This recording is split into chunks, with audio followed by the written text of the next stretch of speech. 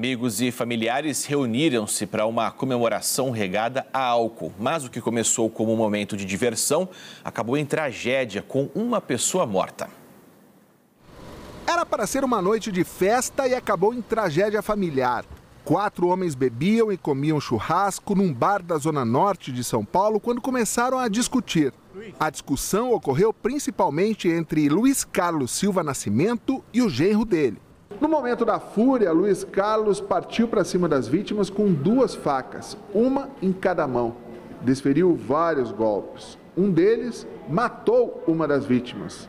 E Luiz Carlos acabou preso em flagrante. A polícia militar encontrou Luiz Carlos andando pelas ruas horas após o crime.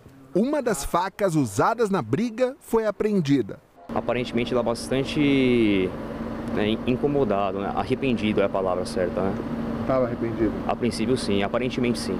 O genro conseguiu fugir e teve apenas um ferimento no rosto. O outro sobrevivente está internado e passou por uma cirurgia. Pode ser o efeito do álcool.